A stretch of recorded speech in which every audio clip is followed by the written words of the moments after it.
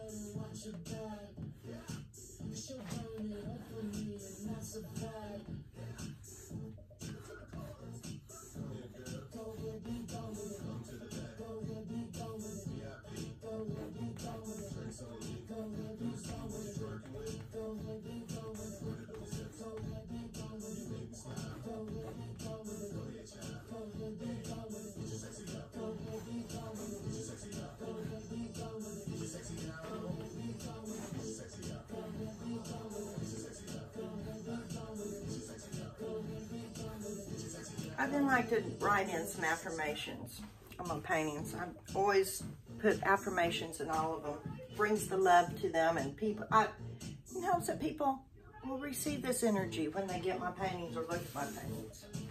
I've got love, peace, health, joy, hope, grateful, happiness,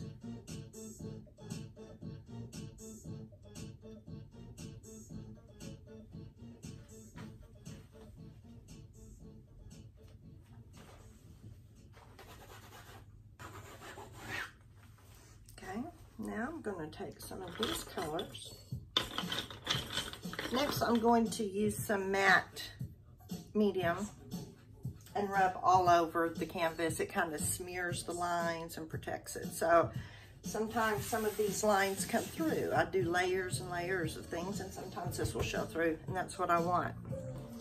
So now I'm gonna put some matte medium on there and I'm gonna try it with one of these foam craft brushes. Whoa.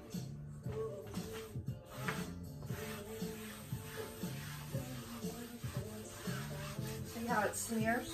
I like that. I want it to smear.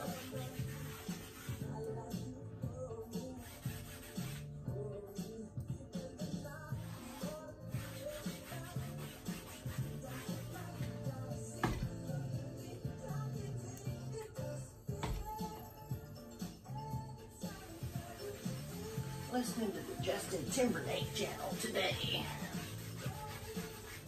Usually listen to country, or sometimes I listen to Frank Sinatra. It all depends.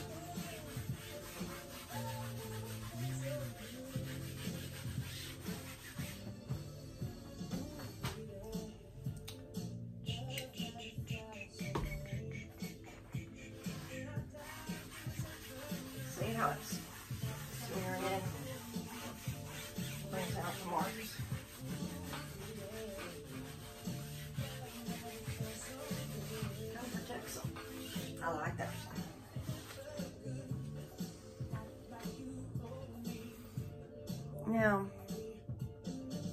I don't know how to pause this thing if I want to go wash out my brush. Guess I'll just have to stick it right here. I'm gonna go get some water. I don't know if I